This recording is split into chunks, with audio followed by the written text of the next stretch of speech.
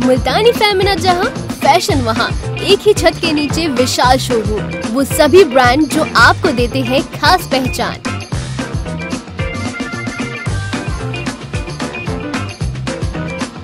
आबुलेन मेरठ। लड़की हूँ, लड़ सकती हूँ। यह सिर्फ़ युवा वर्ग को अपने साथ जोड़ने का नारा हो सकता है, लेकिन मेरठ के हस्तनापुर विधानसभा क्षेत्र में ऐसा चरित्रार्थ हो गया है।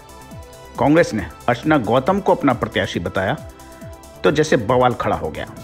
अर्चना गौतम फिल्मी कलाकार हैं और उनकी कुछ फ़िल्मों के सीन वायरल करते हुए व्यक्तिगत कमेंट किए जा रहे हैं। कुछ लोगों ने हस्तनापुर में अर्चना का पुतला भी फूका। आज फ़र्स्ट बाइट ने अर्चना गौतम से सीधे इस मुद्दे पर बात की। बातचीत में उनकी वेदना साफ़ नज़र आई और यह संकल्प भी कि लड़की हूँ, लड़ सकती हूँ। देखिए।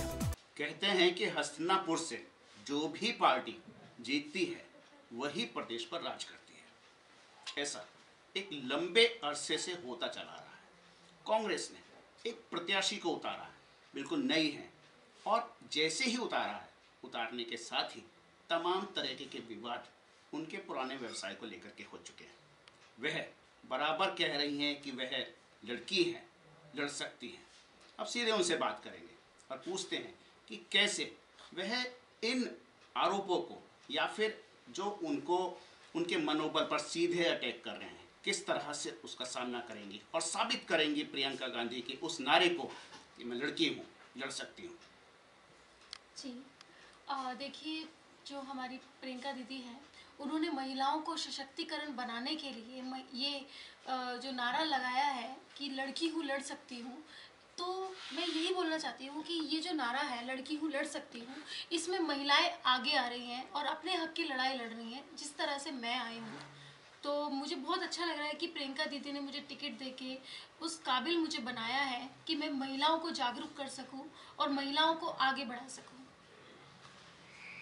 ये जिस तरह से ट्रोल आपको किया जा रहा है आप उसका किस तरह से सामना कर पाएँगे? देखिए ट्रोल तो हर एक्ट्रेस होती आई है, चाहे वो स्मृति ईरानी हो, चाहे वो हेमा मालिनी हो, चाहे वो जयललिता हो तो ये तो एक तरह राजनीति का पार्ट है या एक महिला का पार्ट है कि महिलाओं को स्टार्टिंग से ही ऐसे जुल्म सहने पड़ते हैं या ऐसी चीज़ें देखने पे मतलब मजबूर हो जाते हैं। तो ये चीज़ें मेरे साथ भी हुई है। तो मैंने कुछ एक्स्ट्रा चीज़ें नहीं की। मैंने अपनी एक्टिंग की और जो मैंने एक्टिंग की वो बखूबी से मैंने निभाई है। और आज मैं राजनीति में मैंने कदम रखा है तो मैं अपनी राजनीतिक करियर को बखूबी से निभाऊँगी, मैं जनता की सेवा करूँगी। और जैसे कि मैं हस्तनापुर की बेटी हूँ, मैं वहीं पे पैदा हुई हूँ, वहीं पे बड़ी हुई हूँ तो मैं अपने जो मेरा गाँव है, उसको मुझे विकसित शहर बनाना है। जी। राजनीतिक जंग में आप किस तरीके से दूसरे लोगों का सामना कर रहे हैं और संगठन आपके साथ कितना खड़ा हुआ? आप देखिए, मेरा संगठन मेरे साथ है और यहाँ तक कि जिला संगठन भी मेरे साथ है और जो मेरे हसनापुर के जो ब्लॉक अध्यक्ष हैं नगर पालिका के अध्यक्ष हैं, नगर अध्यक्ष हैं, वो सभी मेरे साथ हैं। क्योंकि देखिए, मैं एक बहुत छोटी हूँ और मैं 26 साल की हूँ और छोटे के नाते सभी मेरे, सभी भाई मेरे साथ जुड़ के चल रहे हैं। तो संगठन की अगर मैं बात करूँ तो वो मेरे सब सहयोग में है और यहाँ तक कि जनता भी मेरे सहयोग में है। आपको कितना अरसा हो चुका है राजनीति में आए हुए? आ, मुझे मात्र डेढ़ से दो महीना हुआ है। मैंने 26 नवंबर को कांग्रेस पार्टी ज्वाइन की थी।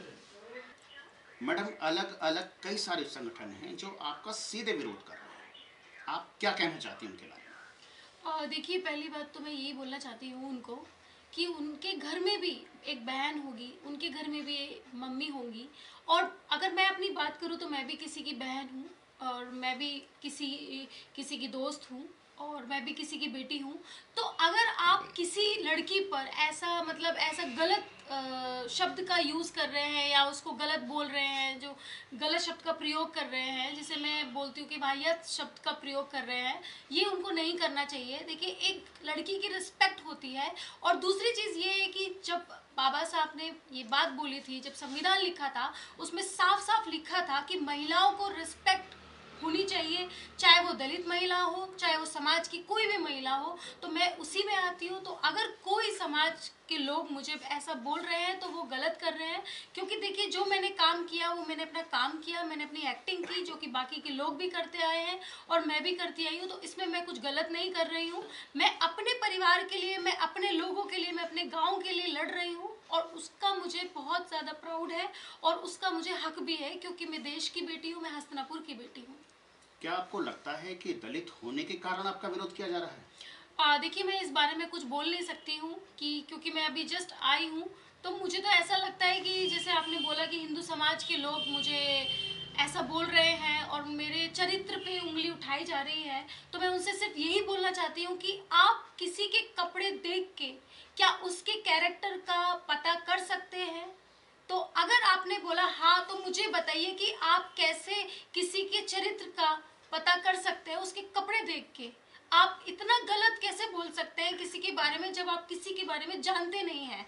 आपको ये नहीं पता है मैंने कितना स्ट्रगल करके मैं यहाँ तक पहुँची हूँ, क्योंकि आपको मेरी रियल लाइफ दिख रही है, मेरी रियल लाइफ नहीं दिख रही है। तो मैं मैं मैं सिर्फ़ यही बोलना चाहती हूँ कि अगर आपके पास थोड़ा टाइम है आप आइए और मेरे बारे में जानिए कि मैंने कितना स्ट्रगल करके मैं वहाँ तक पहुँची हूँ। और फिर आप अपना जो भी आप गलत वर्ड के यूज़ कर रहे हैं, वो आप कर सकते हैं।